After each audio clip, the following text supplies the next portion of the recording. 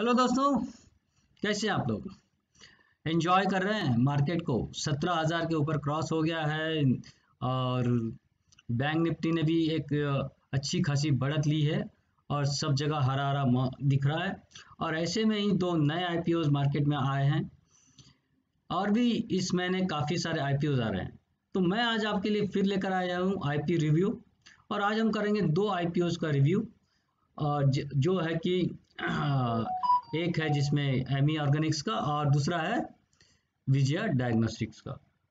मैं राकेश रेजा, आपके लिए राकेश रेजा ट्रेडिंग सिस्टम तथा growth factor capital services LLP की तरफ़ से हाजिर हूँ। और इसके पहले कि हम आगे बढ़े, मैं डिस्क्लेमर देना चाहता हूँ कि मैं कोई सेबी रजिस्टर्ड या सेबी सर्टिफाइड एनालिस्ट या एडवाइज़र नहीं हूँ। जो मैं यहाँ आपको बताने जा रहा हूँ, वो मेरे अपने विचार है, अपनी समझ के हिसाब से, अपने स्टडी के हिसाब से। तो आपको इसमें जितना समझ में आता है, उसके बाद डिसीज़न लेना है, जो भी लेना है, आप अपने रिस्क पे लीजिए, या अपने फाइनेंशियल एडवाइज़र या इन्वेस्टमेंट एडवाइज़र के साथ मिल के लीजिए, क्योंकि इसके ये केवल मैं अपनी राय रख रहा हूँ, आपको इसमें जो भी अपनी राय बनाना है आप अपने उसके लिए आप स्वयं जिम्मेदार होंगे। तो चलो आगे बढ़ते हैं। पहले आ, बात करते हैं विजय डायग्नोस्टिक की। तो इसमें क्या अच्छा है? देखिए इसके बेसिकली एटी के आसपास रेडियोलॉजी सेंटर्स हैं और 11 रेफरेंस लेबोरेटरीज भी हैं। ये अपने आप में एक सबसे बड़ी और सबसे तेज़ी से बढ़ने वाली डायग्नोस्टिक चेन है साउथ इंडिया की। स्ट्रॉन्ग टेक्निकल कैपेबिलिटीज़ हैं, इनके पास में जो टेक्नोलॉजीज़ और जो है, वो बहुत ही स्ट्रॉन्ग है। इनके जो लेबोरेटरीज काफ़ी एडवांस है रोबोस्ट आईटी इंफ्रास्ट्रक्चर है इनका।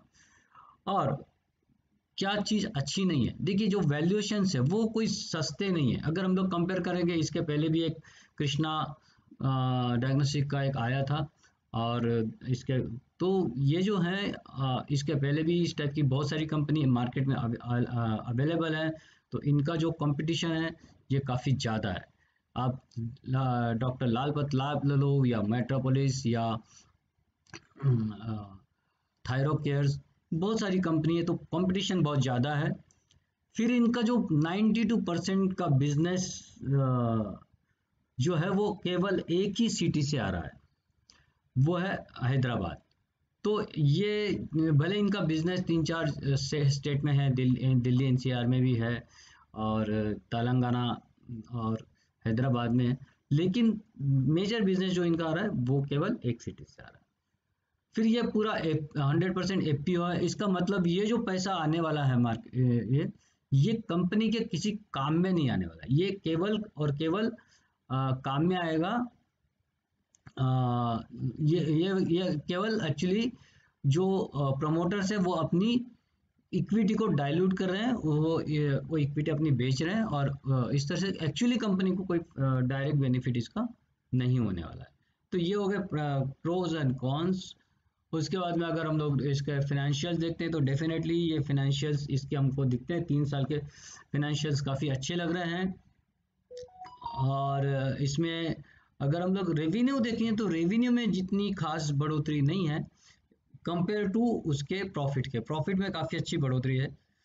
तो हम लोग ये भी इसको देख के बोल सकते हैं कि इनने अपनी मार्जिन को काफ़ी अच्छा सुधारा है और साल दर साल इनका मार्जिन अच्छा होते जा रहा है। तो ये एक अच्छी अच्छी चीज़ भी है। अब इसको ये है, ये आज ऑलरेडी लॉन्च हो चुका है तीन सितंबर मतलब फ्राइडे तक। ये खुला रहेगा।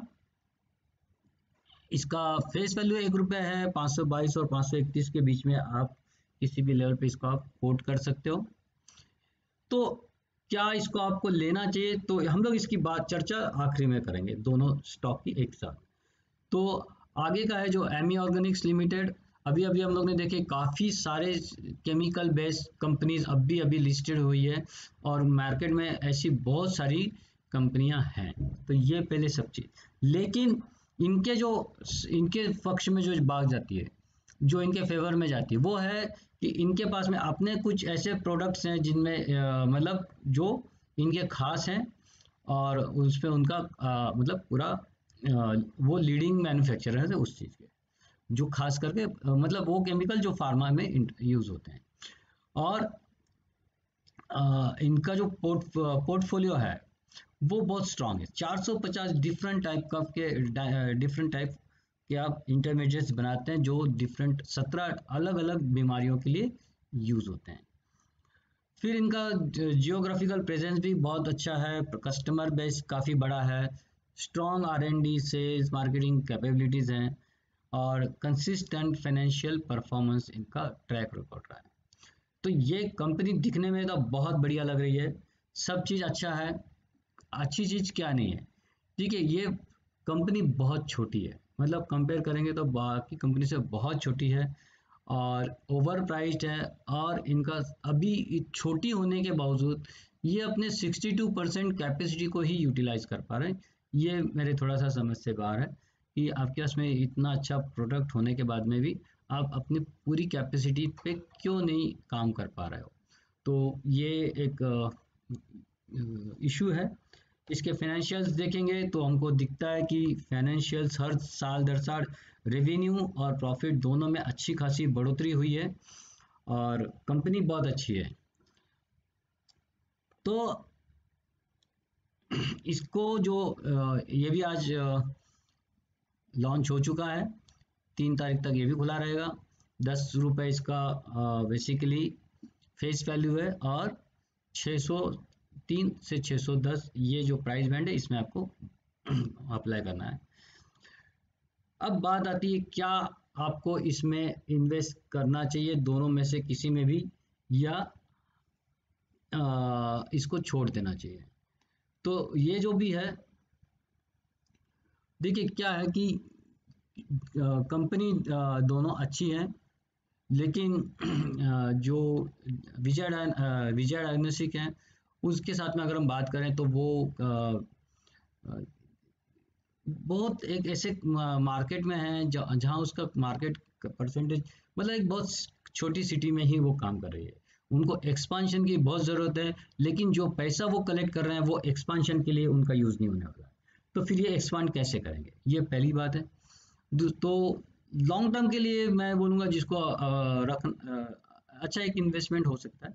लेकिन अगर लॉन्ग टर्म के लिए इन्वेस्टमेंट करना है तो फिर मैं अभी क्यों करूँ? हो सकता है मुझे और बेटर रेट पे मिल जाए, क्योंकि अभी के जो इनके, जो जिस रेट पे ये आ रहा है, वो ऑलमोस्ट थायरो केयर के हिसाब का ये जो इसका वैल्यूएशन बन रहा है।